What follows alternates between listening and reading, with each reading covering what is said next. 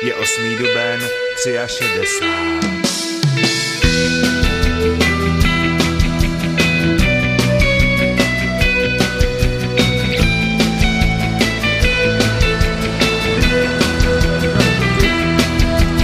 Zástupy sejdou k elektrikám před šestou do továren kolem řeky na druhý břeh za prací.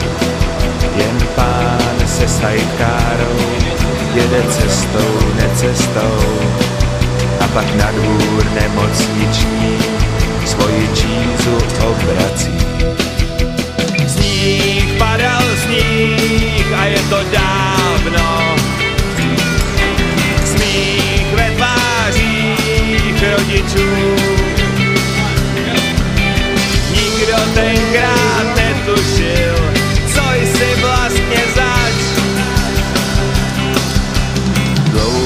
Dlouhá chodba končí pokojem